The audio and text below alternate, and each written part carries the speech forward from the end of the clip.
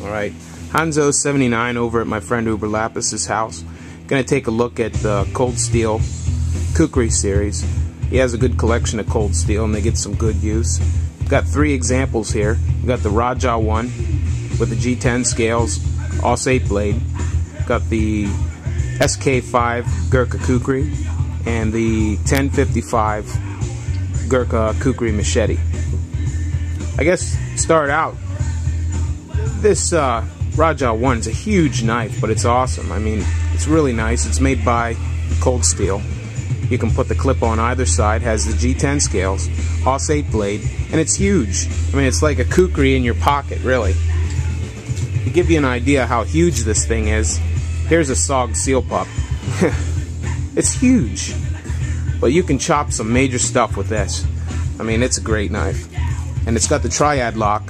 Uh, the, there's some webs, uh, websites out there that have it where they hung 500 plus pounds on this thing and it didn't fold up. I think on the coldsteel.com website, it does like a couple of hundred pounds uh, on their website, 300 something pounds. But uh, you can look and it's doing over 500. It doesn't fold up.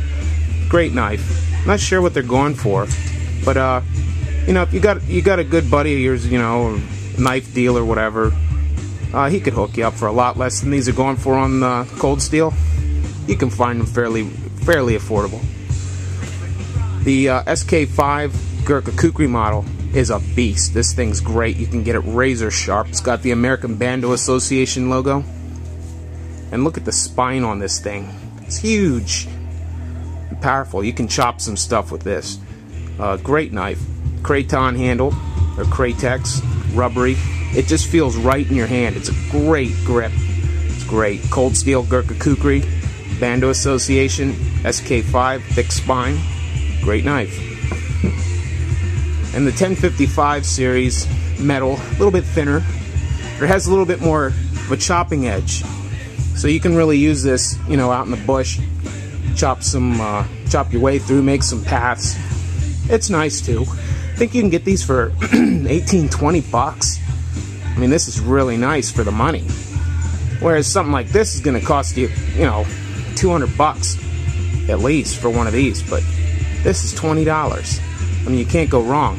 Has the same grip as the SK5 Gurkha Kukri, but instead of Kratex, it's like a Zytel. It's almost like a, like a hard nylon, uh, glass-filled nylon like Zytel. Same grip, it's just hard, but it feels right in the hand.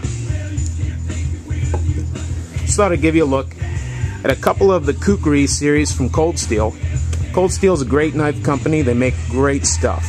Never really had a problem with anything from Cold Steel except maybe a broken clip. Uh, and it's good stuff. It's good price. You get in with a knife dealer, you can get a good deal. So I'd say go for it. If you're thinking about Cold Steel, no problems. Recommend them.